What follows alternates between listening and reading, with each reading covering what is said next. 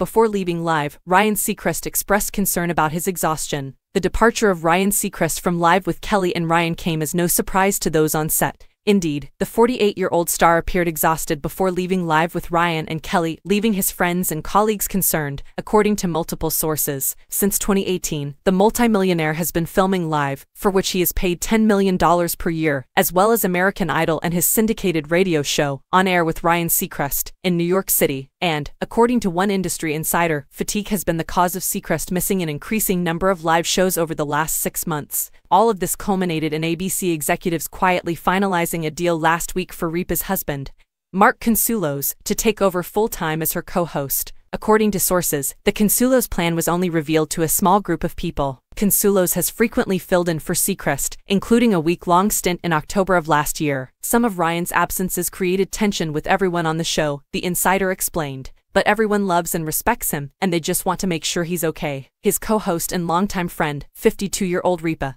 who is on a $20 million a year contract, has rarely missed a day on the show in her 23 years. They began talking about Ryan leaving last summer, and when they announced Ryan's departure, both Kelly and Ryan wanted to put whatever issues arising from the workplace and Ryan's other responsibilities they had behind them, the insider added. They've known each other for 20 years and, regardless of recent strains, it is a real friendship. According to page 6, ABC executives were concerned that Seacrest was overdoing it, and fans were concerned that he had suffered a stroke live on air when he appeared to slur during the American Idol final. Seacrest later cited exhaustion as the source of his problems. He then backed out of filming live just 30 minutes before the show was scheduled to air. According to a coworker, Seacrest finds the schedule punishing and despises living in New York City. Seacrest has been frequently traveling between his homes in Los Angeles and New York, according to a source close to him, and it's not just live. Ryan has to travel to audition cities for Idol, and they recently visited Hawaii. It's draining. It is hard doing live every day. It's a grueling schedule. There are double tapings and he runs between his radio show and live. He'll have a 10 minute break and they'll say, come and do some one liners for the radio show. According to a source close to Seacrest, it's all too much for one person to handle. He's not quite burned out, but he knows himself he needs a break. He's valued his time off with his family and loved ones in the last couple of years,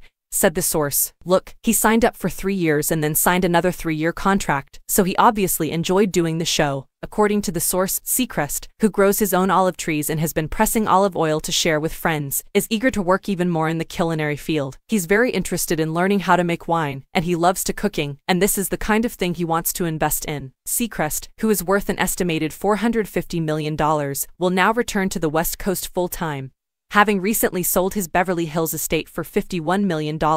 His girlfriend, Aubrey Paige, 25, lives in California, and she sent him a Valentine's Day message on Instagram this week, captioned, Loving you has been the adventure of a lifetime. He has a long history with ABC and will continue to host Idol, for which he has been paid more than $10 million, as well as the network's sing-along shows and his New Year's Rockin' Eve special. He also produces The Kardashians on Hulu, the streaming service owned by ABC parent company Disney, and recently debuted The Watchful Eye on Freeform, which also Disney owned. Alongside this, the host's radio show deal runs up until 2025. On Thursday's Live, Seacrest and Ripa announced his departure, which he will continue to appear on until the show is officially rebranded as Live with Kelly and Mark leaving was a tough, tough decision that was bittersweet, according to Seacrest on the show. Working alongside Kelly for the past six years has been a dream job and one of the highlights of my career, he said. There is nobody else like you, Ripa said on Thursday's show. I know you both in real life and on television. I only say this about a few people, you get what you see. This is not a performance, this is a good man. You never cease to amaze me. It was a collective decision that this was the time for Ryan to leave, said the industry insider. Ripa, Seacrest, and Consuelos all made appearances on Friday. This is Ripa's third co-hosting gig since joining Regis Philbin's show in 2001 to replace Kathie Lee Gifford. Philbin's final show was in November 2011, and he died in July 2020 at the age of 88. Former NFL star Michael Strahan then co-hosted the show with Ripa from September 2012 until April 2016, when it was announced that he would leave live to join Good Morning America full-time. However, Strahan's departure was fraught with controversy, and Ripa was said to be enraged when it was revealed that she had not even been informed of the plans. Strahan has stated that the two no longer communicate. Before Seacrest was announced as Strahan's replacement, the show had a number of co-hosts. One friend of Ripa's told Page 6, there is a huge contrast between Ryan and Strahan's departure. This was by far the best relationship of Kelly's previous co-hosts. Mark has stood in for Ryan with greater frequency,